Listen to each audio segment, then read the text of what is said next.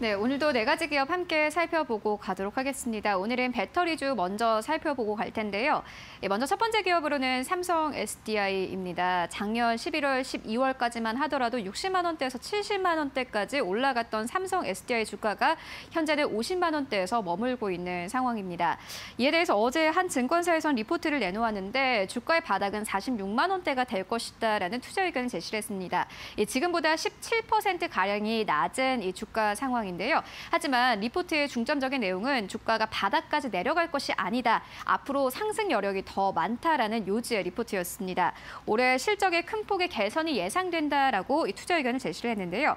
일단 삼성 SDI 같은 경우에는 매 분기마다 영업이익이 약 천억 원씩 넘게 증액되는 상황입니다. 그만큼 실적 개선이 빠르게 일어나고 있는 기업이기도 한데요. 특히나 자동차용 배터리 매출 비중이 20%를 돌파한 것에 대해서 많은 증권사에서는 긍정적으로 평가를 했습니다. 그리고 2016년 이후로 PER가 현재 역사적인 저평가 순간이라고 합니다. PER가 21배인 상황인데 특히나 같은 업종의 다른 기업들에 비해서 현저히 낮은 PER이기도 합니다. 관련된 주가 흐름 꼼꼼하게 체크해 보시면 좋을 것 같습니다. 네, 그리고 두 번째 기업은 솔루스 첨단 소재입니다. 어제 장 마감 이후에 긍정적인 소식이 나왔습니다. 예, 테슬라의 2차 전지용, 2차 전지용 동박 납품에 성공했다라는 소식이었습니다. 공시를 내놓은 것은 아니고요. 한 언론사를 통해서 보도를 했습니다.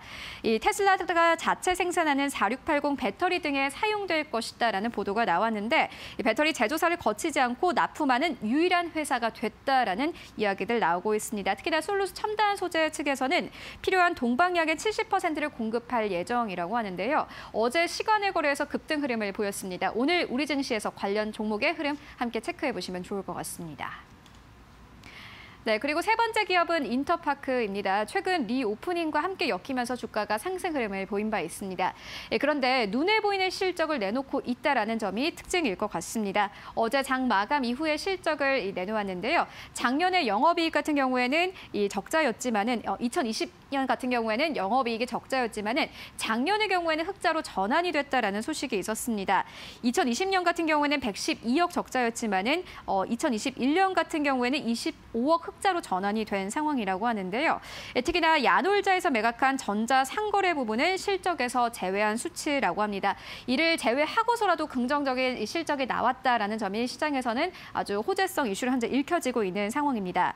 어, 그리고 어제 또 한 가지 이슈가 있었습니다. BTS 서울 콘서트를 인터파크에서 예매한다라는 소식이 있었는데요. 하지만 어제 관련된 뉴스가 시장에 크게 영향을 미치지는 않았습니다. 이런 부분들을 함께 확인하시면서 인터파크의 주가 탄력 확인해 보시면 좋을 것 같습니다. 같습니다.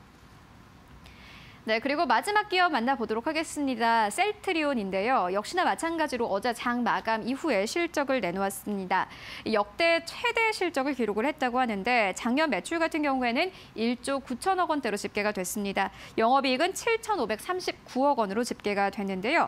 어, 작년 4분기 매출액 같은 경우에는 6,011억 원으로 분기 최대 실적을 내놓았습니다. 어, 지난 4분기 영업이익 같은 경우에는 2,190억 원으로 전년 동기 대비했을 때 33%넘 게 성장한 수치를 내놓았습니다. 또 올해 코로나19 치료제와 진단키트의 사업을 강화하겠다라고 발표를 했는데 오늘 관련해서 또 실적에 따라서 주가 흐름 어떻게 움직일지 확인해 보시기 바랍니다. 네, 지금까지 네 가지 기업 살펴보고 왔습니다.